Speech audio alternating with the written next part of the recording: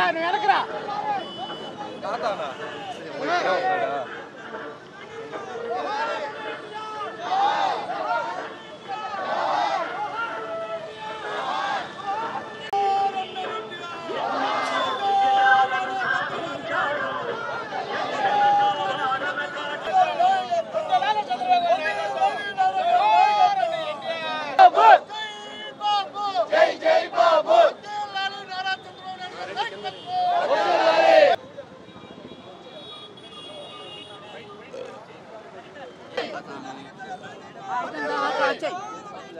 సమాజమే దేవాలయం ప్రజలే దేవుళ్ళు అనే నినాదంతో స్థాపించిన తెలుగుదేశం పార్టీ నలభై ఒక్క సంవత్సరాలు పూర్తి చేసుకుని ఇవాళ నలభై రెండవ సంవత్సరంలోకి అడుగు పెడుతున్న సందర్భంగా మరి ఈ రోజున మనందరం కూడా వారి స్ఫూర్తిని ముందుకు తీసుకువెళ్ళాల్సిన అవసరం ఈ రోజున ఎంతో ఉంది.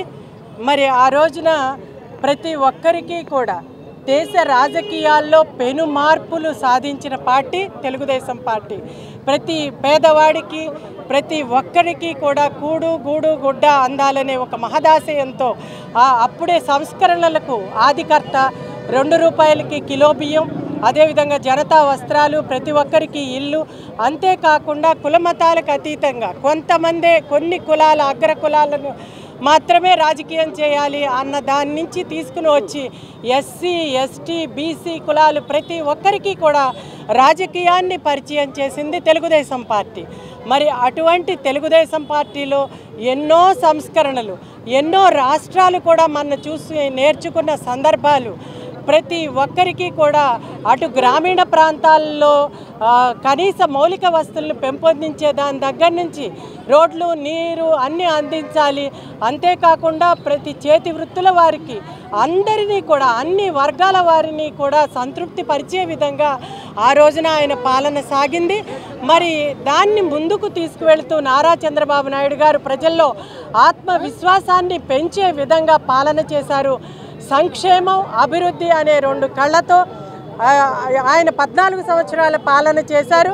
మరి ఈ రోజున ఒక ప్రతిపక్ష పార్టీగా అధికార పార్టీ రాజకీయం ఎలా ఉండకూడదో చూపిస్తే తెలుగుదేశం పార్టీ ఈ నలభై సంవత్సరాల్లో అధికారంలో ఉన్న ప్రతిపక్షంలో ఉన్న ఎలా ఉండాలి అనేది ప్రజలకు చేసి చూపించింది మరి తెలుగుదేశం పార్టీ.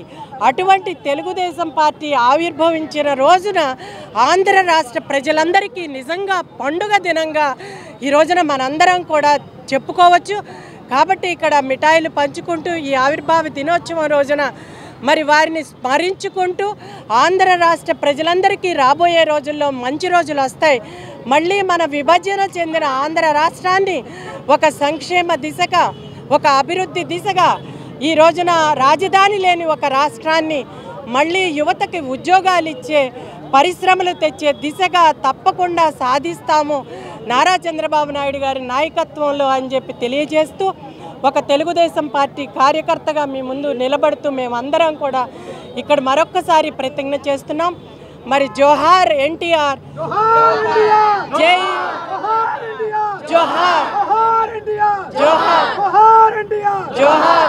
జై చంద్రబాబు గారు. నందమూరి తారక రామారావు గారి శత జయంతి ఉత్సవాలు జరుపుకుంటున్న సందర్భంగా తూర్పు నియోజకవర్గంలో మరి ఇక్కడ ఎన్టీఆర్ సర్కిల్లో ఆయన యొక్క విగ్రహానికి పూలమాల వేసి అలాగే మాజీ జిల్లా పరిషత్ అధ్యక్షురాలు అనురాధ్ గారు జెండా ఆవిష్కరణ చేయడం జరిగింది. ఎన్టీ రామారావు గారు గొప్ప వ్యక్తి గొప్ప నాయకుడు ప్రజాదరణ కలిగినటువంటి నాయకుడు అనే దానికి నిదర్శనంగా శత జయంతి ఉత్సవాల సందర్భంగా కేంద్ర ప్రభుత్వం వంద రూపాయలు నాణ్యం వెండి నాణ్యం మీద ఆయన బొమ్మతో ముద్రించడానికి ముద్రించినటువంటి నిర్ణయం మన అందరం కూడా గుర్తుపెట్టుకోవాల్సినటువంటిది ఈ శత జయంతి ఉత్సవాల సందర్భంగా రానున్న ఎన్నికల్లో మనం ఘనమైనటువంటి ఎన్టీ రామారావు గారికి నివాళులర్పించే కార్యక్రమాన్ని చేసుకుంటూ ఆయనకి ఈ రాబోయే ఎన్నికల్లో ఈ కృష్ణా జిల్లా ఉమ్మడి కృష్ణా జిల్లాలో ఉన్నటువంటి పదహారు నియోజకవర్గాల్లో కూడా తెలుగుదేశం పార్టీ జయకేతనం ఎగదేశ దిశగా కార్యకర్తలందరూ కూడా పనిచేయాలని చెప్పి మేము కూడా పనిచేసి కలిసి పనిచేయడానికి సిద్ధంగా ఉన్నామని మీ ద్వారా నేను